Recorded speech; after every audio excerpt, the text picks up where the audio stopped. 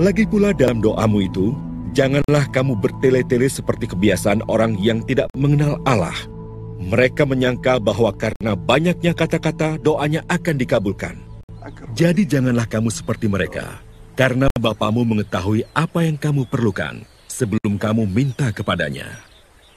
Karena itu berdoalah demikian, Bapa kami yang di surga, dikuduskanlah namamu, datanglah kerajaanmu, jadilah kehendakmu di bumi seperti di surga. Berikanlah kami pada hari ini makanan kami yang secukupnya, dan ampunilah kami akan kesalahan kami, seperti kami juga mengampuni orang yang bersalah kepada kami. Dan janganlah membawa kami ke dalam pencobaan, tetapi lepaskanlah kami daripada yang jahat. Karena engkaulah yang empunya kerajaan, dan kuasa dan kemuliaan sampai selama-lamanya. Amin.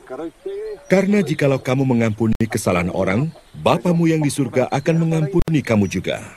Tetapi jikalau kamu tidak mengampuni orang, Bapamu juga tidak akan mengampuni kesalahanmu. Melalui bacaan Injil hari ini, Yesus mengajarkan bagaimana seharusnya kita berdoa. Kita diajak untuk datang kepada Tuhan dengan sikap jujur, tulus, sederhana, dan apa adanya, seperti seorang anak kecil datang kepada ayahnya.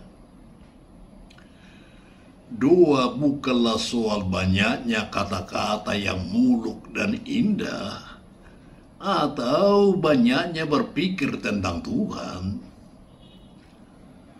Sebenarnya doa yang berkenan kepada Tuhan adalah hadir dengan seluruh keberadaan kita yang terarah kepadanya dengan disposisi batin yang benar dengan segala yang kita miliki dan alami, serta segala perjuangan kita.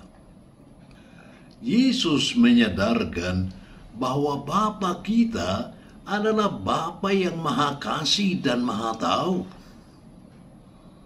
Dia mengenal kita secara pribadi, melebihi diri kita sendiri. Ia memahami dan menyelami kedalaman hati kita. Roh Kudus yang telah Dia berikan kepada kita memampukan kita untuk memanggilnya, "Ya Aba, ya Bapa." Suatu sebutan yang sangat mesra.